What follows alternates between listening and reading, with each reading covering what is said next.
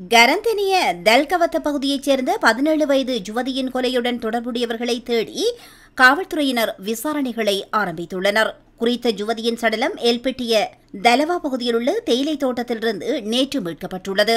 சடலமாக மீட்கப்பட்ட யுவதி தமது சகோதரியின் கணவருடன் வசித்து வந்ததாகவும் காவல்துறையினர் தெரிவித்துள்ளனர். இந்த நிலையில் இருவருக்கும் இடையே ஏற்பட்ட தகராறு காரணமாக குறித்த யுவதி மீண்டும் தமது வீட்டுக்கு சென்றுள்ளதாக தெரிவிக்கப்படுகிறது. குறித்த நபருக்கு எதிராக யுவதியும் அவரது தாயும் கடந்த ஆறாம் தேதி காவல் நிலையத்தில் முறைப்பாடு செய்திருந்தனர். இந்த முறைப்பாடு தொடர்பான விசாரணைகளுக்காக சென்று கொண்டிருந்த போது முச்சக்கர வண்டியொன்றில் வந்த யுவதியின் சகோதரியின் கணவர் அவரை மீண்டும் அழைத்துச் சென்றதாக தெரிவிக்கப்படுகிறது அதன் பின்னர் அவர் தொடர்பில் எந்தவித தகவல்களும் கிடைத்திருக்கவில்லை எனவும் அவரது உறவினர்கள் காவல் நிலையத்திற்கு அறிவித்துள்ளனர்.